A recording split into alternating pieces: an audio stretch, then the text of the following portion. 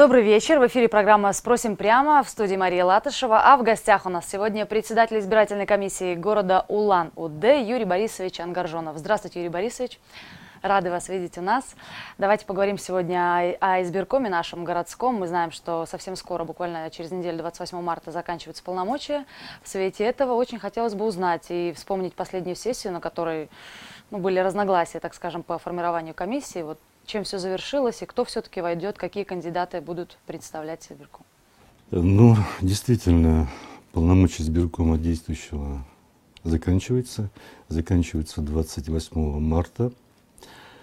Э, можно говорить сегодня о том, как работал сберком за прошедшие пять лет, ну и остановиться все-таки о том, какие были рабочие вопросы на сессии по формированию нового состава избиркома. Действительно, в республике и в городе в целом каждый год практически проходят выборы. Избирком города вместе с мэрией города, вместе с администрацией города всегда работает тесно с избиркомом субъекта по сопровождению, по техническому, по информационному сопровождению выборов, по подготовке всех наших организаторов выборов, то есть это участковые комиссии, окружные комиссии. Работы текущей хватает, работы с молодыми избирателями. Она, в принципе, поставлена очень хорошо управлением по работе с молодежью, комитетом по социальной политике. В целом все знают, кто за какой участок работы отвечает в преддверии тех или иных выборов. Что касается города Улан-Удэ, да, у нас в городе численность избирателей растет, это порядка 300 тысяч избирателей. Много это или мало? Да, мы больше по численности, чем соседи в Чите, чем в Якутске, но мы меньше по численности, по численности чем в Иркутске. В целом, избиратели в городе очень грамотные, очень грамотные. С годами, видимо, все-таки информация, которая доходит до нашего избирателя по прохождению тех или иных выборов, все-таки доходит до избирателя. И сегодня просто пустыми обещаниями, конечно, избирателя ну, по крайней мере, не увидишь. И не завлечешь, не завлечешь. на. Да, в городе у нас 160 избирательных участков, практически они находятся в одних и тех же местах. То есть избиратель знает, куда прийти проголосовать. В городе у нас постоянно работают на всех практически выборах 41 комплекс избирательных бюллетеней. То есть то, что мы автоматизируем избирательный процесс. В целом я должен сказать, довести информацию до всех наших горожан, что Центральной избирательной комиссии по материалам прошедших выборов депутаты Гос, Гос, Госдумы принято решение о том, чтобы увеличить количество комплексов обработки избирательных бюллетеней. И такой комплекс э, опытный появился, это комплекс КОИП 2017. Он может э, прочитать бюллетени большей длины, выполнить больше операций, более точно отработать избирательный процесс. Хотя КАИБом 2010, который мы используем, замечаний тоже нет. Замечаний нет в целом по всей России. Э, что касается веб-камер. Веб-камеры у нас работали в городе Улан-Удэ на выборах президента России в 2012 году. Мы на своих выборах пытались в 2014 году использовать э, веб-камеры, но по расценкам, которые нам... Мы запросили расценки с Ростелекома, Значит, э, на обслуживание каждой веб-камеры на участок приходилась сумма в районе 22-24 тысяч рублей. Ну, 3,5 миллиона все-таки сумма довольно большая, и было принято общее решение, что у нас есть много наблюдателей от тех или иных политических партий, от кандидатов, которых бывает э, на каждом участке в районе 10 человек. Поэтому решили да, решили отказаться от э, веб-камер. Сумма довольно большая, 3,5 миллиона рублей, на которые можно, допустим, провести или воду, или свет. Да, инфраструктуру куда-то вложить, да. Да. То решение было вот не таким образом. Но вот эти вот новые клабы, как вы сказали, они на предстоящих выборах сентябрьских будут задействованы? Один он, да, пока? Нет, опытный образец, он проходит испытания, но к выборам президента России, которые пройдут в марте 2018 года, мы надеемся, что они будут будут, конечно, не во всех э, субъектах, но в тех субъектах, э, где наиболее большее количество избирателей, они, наверное, будут проходить свои испытания. Значит, э, в целом Бурятия, конечно, и город вступает в определенный избирательный цикл, большой цикл. То есть в сентябре 2017 года мы избираем главу республики.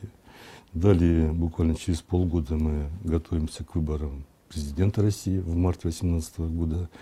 И в этом же 2018 году, в, октябре, в сентябре месяце, мы избираем депутатов ЗАГС Собрания, то есть депутатов Народного хора. Ну а дальше наши выборы, выборы главы города, мэра города улан выборы депутатов представительного органа. Что касается формирования избирательной комиссии, комиссия формируется Э, мы, как один из субъектов по формированию комиссии, отслеживаем этот вопрос, отслеживаем сроки, отслеживаем исполнение закона 67 ФЗ. Да, действительно, комиссия формируется в составе 10 человек.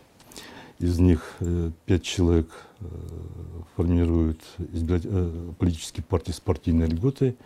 Что значит с партийной? Это политические партии, которые имеют свои депутатские мандаты в том или ином органе. То есть, э, если они имеют э, депутаты в Госдуме, это парламентская партия. В ЗАГС собрании у нас тоже эти же партии. Значит, в представительном органе таких партий у нас в городе Уланды таких партий нет, с партийной льготой. Значит, э, вторая пятерка формируется избиркомом субъекта. Формируется на основе предложений от общественных объединений – все было выполнено избиркомом субъекта в пределах буквы закона 67 ФЗ. Значит, все эти кандидаты были обязаны утвердиться на сессии городского совета, что было и сделано. Единственное, если читать внимательно далее закон, там есть э, норма, если в одной из пятерок не хватает кандидатов, то эти кандидаты берутся из подавших свои документы э, кандидатов от других субъектов, ну, от тех же политических партий, от тех же э, представителей от, по месту работы, по месту службы или от э, предыдущего состава избирательной комиссии. Ну, вопросов здесь больших нет.